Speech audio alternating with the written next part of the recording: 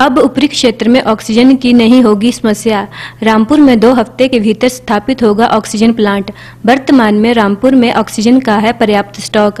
Corona महामारी के इस दौर में ज़रूरत पड़ने पर दूसरे क्षेत्रों को भी ऑक्सीजन भेजकर की जा रही है सहायता। मिलिट्री हॉस्पिटल शिमला को भी सौ से अधिक ऑक्सीजन सिलेंडर भेजकर की गई मदद। कोरोना महामारी के इस दौर में ग्रामीण परिवेश से जुड़े ऊपरी क्षेत्र में ऑक्सीजन की कमी अब नहीं होगी। स्थिति से निपटने के लिए महात्मा गांधी चिकित्सा सेवाएँ, परिसर खनेरी रामपुर में ऑक्सीजन प्लांट स्थापित करने का कार्य युद्ध स्तर पर जारी है। ऑक्सीजन प्लांट के लिए स्ट्रक्चर चार रोज में तैयार होगा और दो हफ्तों के भीतर प्लांट स्थापित करने की प्रक्रिया शुरू हो जाएगी। इस प्लांट के स्थापित होने से रामपुर के अलावा किन्नौर और आसपास के स्वास्थ्य संस्थानों को भी ऑक्सीजन की कमी नहीं होगी।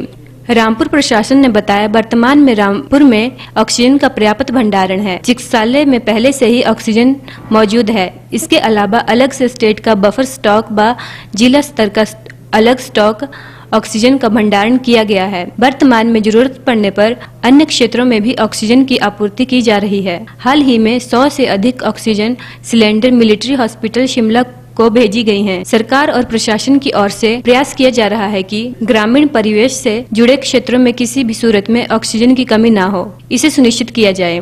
एसडीएम रामपुर सुरेंद्र मोहन ने बताया कि रामपुर में ऑक्सीजन प्लांट स्थापित करने वाली संस्था के लोगों ने मौके का निरीक्षण किया और काम भी युद्ध स्तर पर जारी कर दिया गया है।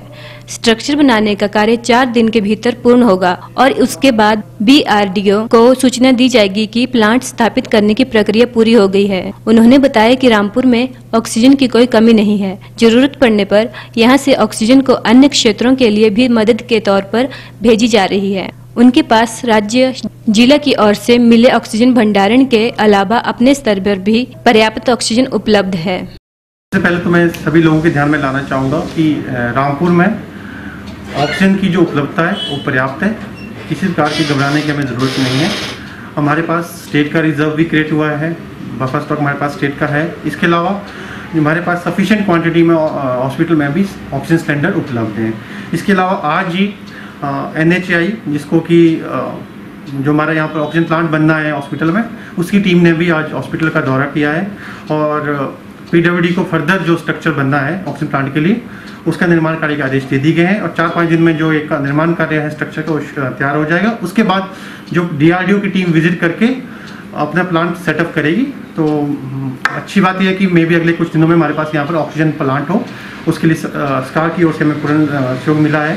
गवर्नमेंट का विशेष रूप से बहुत मैं धन्यवादी हूँ कि रामपुर में इतने छोटे स्पैन में गवर्नमेंट ने ऑक्सीजन प्लांट लगाने की अपनी जो करबद्धता है वो पूरी की है। इसके लिए हम पूरे रामपुर वासियों की ओर से मैं सरकार का धन्यवादी हूँ।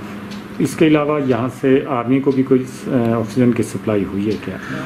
एक्चुअली आर्मी के पास सफिशेंट क्वान्टिटी में अपने ऑक्सीजन सिलेंडर्स उपलब्ध हैं। तो आर्मी के पास अगर उनको रिक्वायरमेंट है हमने उनको कहा कि अगर मेडिकल पर्पज़ की आपको ज़रूरत है तो गवर्नमेंट की ओर से मेडिकल ऑक्सीजन उपलब्ध करवाई जा रही है। उसमें कोई भी कहीं भी कोई कमी नहीं है।